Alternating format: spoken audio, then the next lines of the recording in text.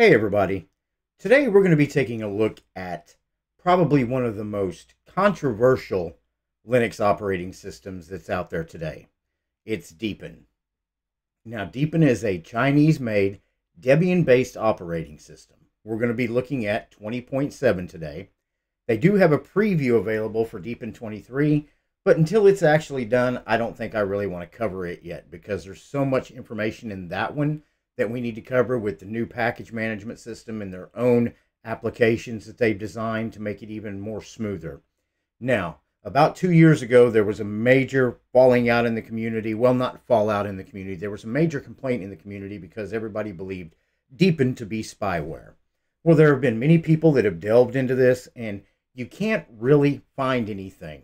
I've looked at it, I've ran it through network transmissions to see exactly what it might be doing. Then the only thing I've ever caught it doing was updating information about the applications that you have on there with its app store. And that's pretty much it. Now, if you have found anything else out there that you think it might be doing, please let me know in the comments below. But one of the reasons I love covering this distribution is just how beautiful it is and how functional it is. It is based on Debian. And if you go to their website, which is deepin.org, you come to this screen right here. You can download Deepin 20.7. There is a preview for Deepin 23. And then you can kind of scroll down and it lets you know all this useful information that out of the box it is great. It's user friendly, privacy protected, powerful community. It's open source and it's perfect ecology. Now, I do want to say this. It was mentioned not too long ago that China was basically going to dump Windows use across all their government operations, which really, I don't care because it's a communist country, and if they're getting rid of Windows, good for them, whatever. But I think this is where Linux is going to step in, or Deepin's going to step in. I think where we got to watch out is the Chinese government actually taking the Linux OS and producing it themselves. I think if it gets to that point, we really got to concern ourselves with it. Now, Deepin has over 40 applications based on user habits. Free working style, it's got grand search, screen capture, OCR, Productivity makes life better. And I do want to point something out right now. If my audio doesn't sound real well, I apologize. I've been messing with it for about an hour and a half because my main microphone has died. So I'm actually on a backup mic. So if the audio is bad, I am so sorry. And then you can come down here and it goes over some of the applications you can get and then let you know the Deepin 20.7 was released on September 1st. And then the preview for 23 came out in August and what the deal is, is if you decide you want to give Deepin a try and you want to install 20.7, once Deepin 23 comes out, you will not be able to update to Deepin 23. You'll have to do a complete fresh install. So we'll go from there. And then it's talking about Deepin 23's atomic updates. But like I said, I won't cover that in a future video. And then user feedback. So what we're going to do right now is we're just going to go ahead and zip on over to the desktop. I'm going to close out of the browser and here's your desktop. Now, if you download it, throw it on a USB, put it in a virtual machine, this is the screen you're going to be met with. Down on the bottom, you've got a single dock or panel, whatever you might want to call it. You've got your usual suspects over here. You've got trash, date and time, power, keyboard, search, and then, of course, screenshot tool right there, and then keyboard. And then if you click on that, you've got some more hidden things here, which is sound, Wi-Fi, Bluetooth, and battery. So I'm going to go ahead and minimize that back down. And you've got a laid out simple dock right here in the center, a lot like Windows 11. Now, Deepin's been doing this for years, so uh, you can't say they copied from Windows 11. If anything, Windows 11 copied from them. And then if you come over here, you've got your app launcher. You can click on that. And it opens up your app launcher. Now you can make this more of a full screen. And it'll give you this look right here if that's what you want. I'm going to go ahead and shrink it back down. No, as a matter of fact, I'll leave it up there because it's easier for you to see when you're watching the video.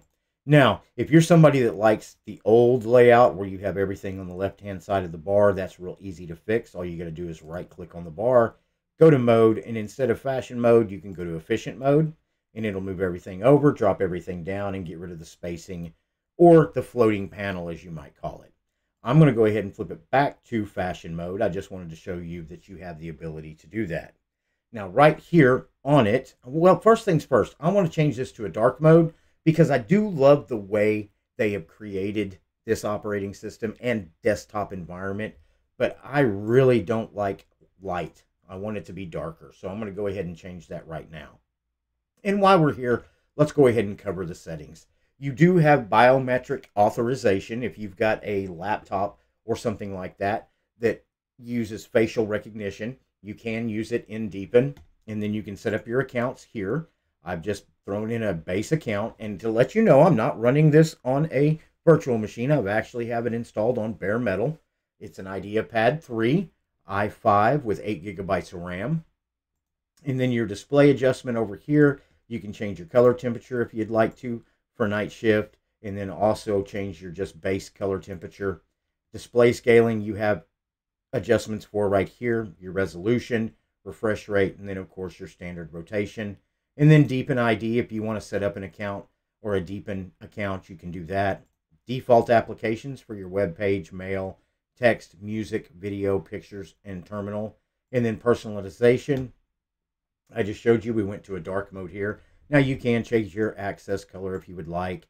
You could switch it over to red or yellow or blue, whatever you might like. I'm going to leave it on that red right there. You can turn window effects on or off.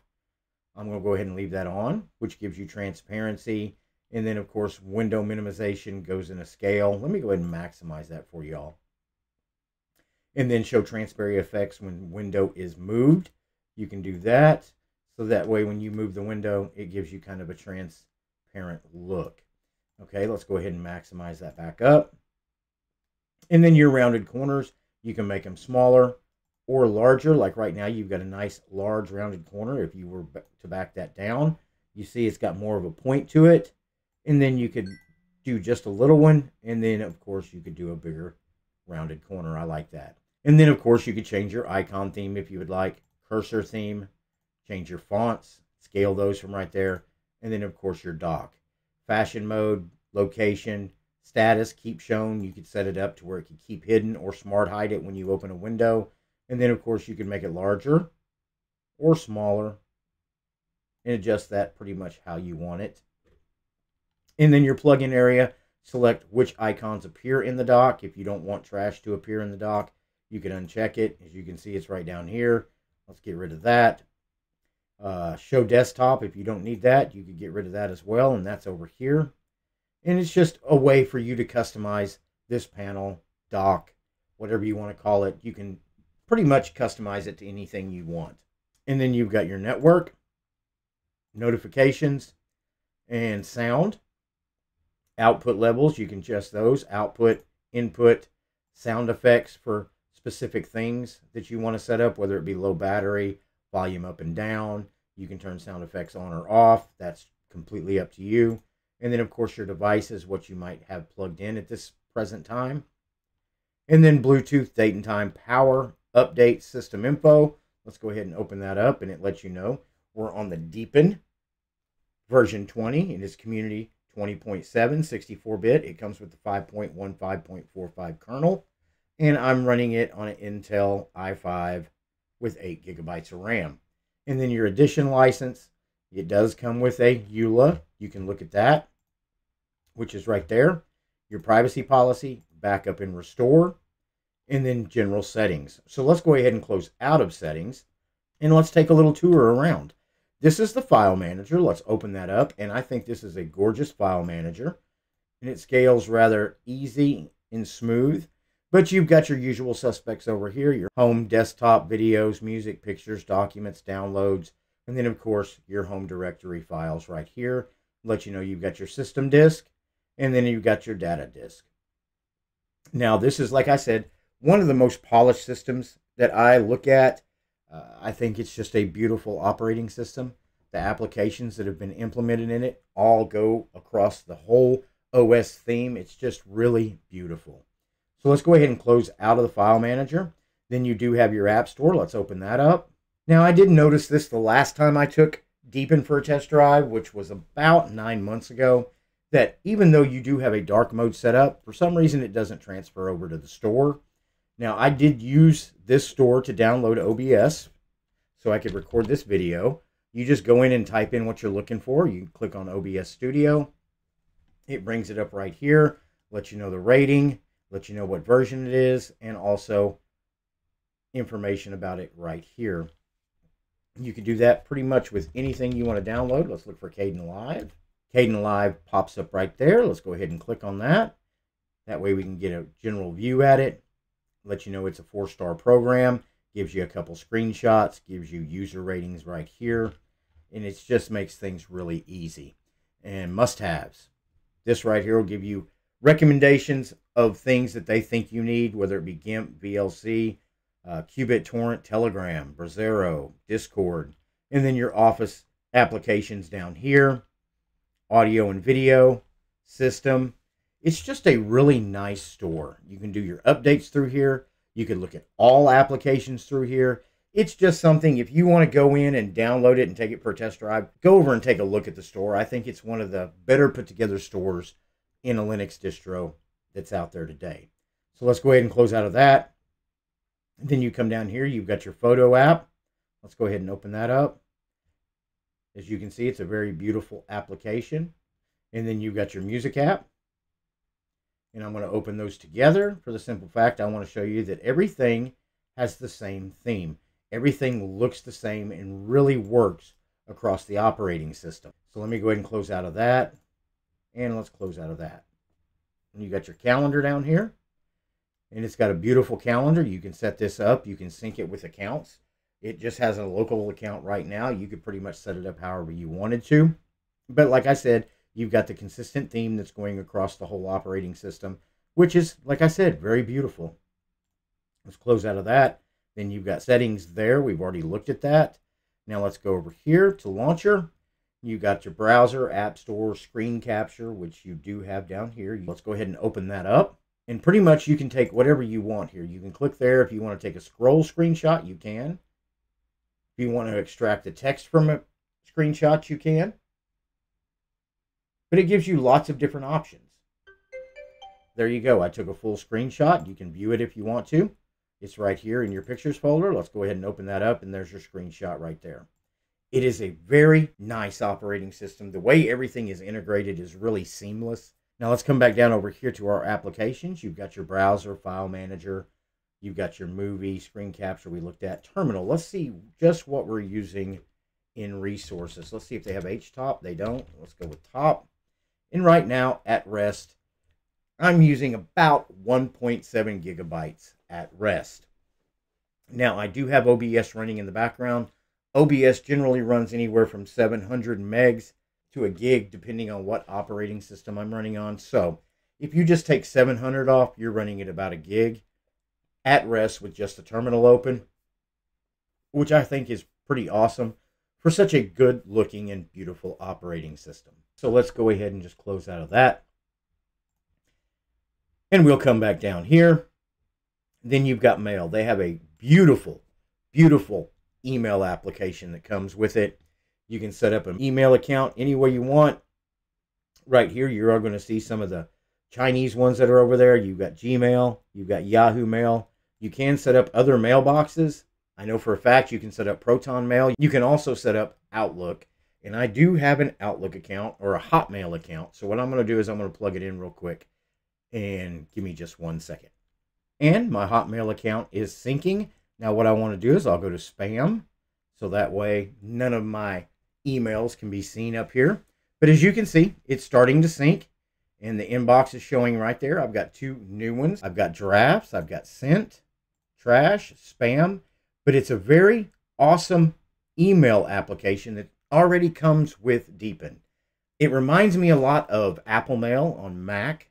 You might disagree. If you think it reminds you of something else, let me know. Put that in the comments below. And like you see, there's right there, I got some spam. Let's go ahead and open this spam up. Please, can we talk privately? Michael Joseph. This is probably somebody that's saying they've just inherited $3 billion and they need a bank account to put it in.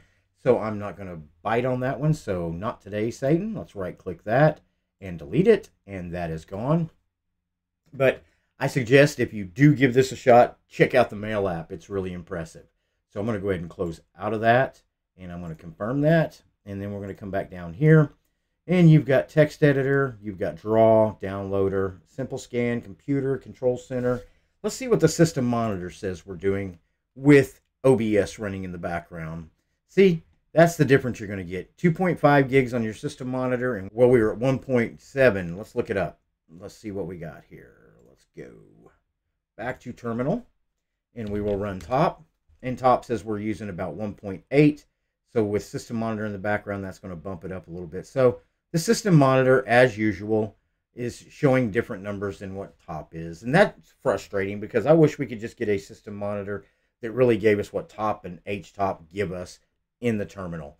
I know with KDE, you got the H top system monitor, but even then, you can run a terminal command or a console and look it up and it still doesn't match. So let's go ahead and close out of those and come back over here and calculator. Let's go to the next screen. Package installer. You do have the GW package installer. So if you do download a Debian package, you can install it from there. And then you've got LibreOffice installed out of the box.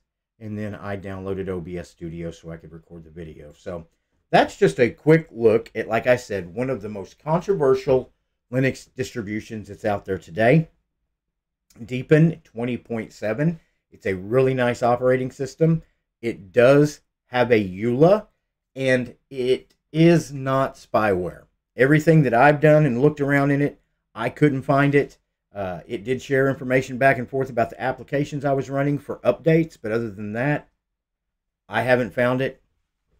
If you disagree or you've got proof that it might be spyware, please throw that in the comments below. But other than that, it is a great operating system. I suggest you go over, download it, throw it on a USB, put it in a virtual machine, and take it for a test drive. I think you'll be highly impressed. Do me a big favor today before you leave. Please like this video. The more likes I get on a video, the more the video stays in the algorithm. And if you find something interesting in my videos, somebody else out there will find it interesting too. And subscribe to the channel. Doesn't cost you anything. And if you end up not liking me, you can always unsubscribe. And if you like the channel and enjoy the videos that we are producing, you can support us by becoming a member to the channel buying us a cup of coffee, going over to PayPal and throwing us a donation, or zipping on over to Patreon and becoming a patron to the channel. Those links will be in the description below. And as always, thank you so much for watching my video, and I will see you in the next video.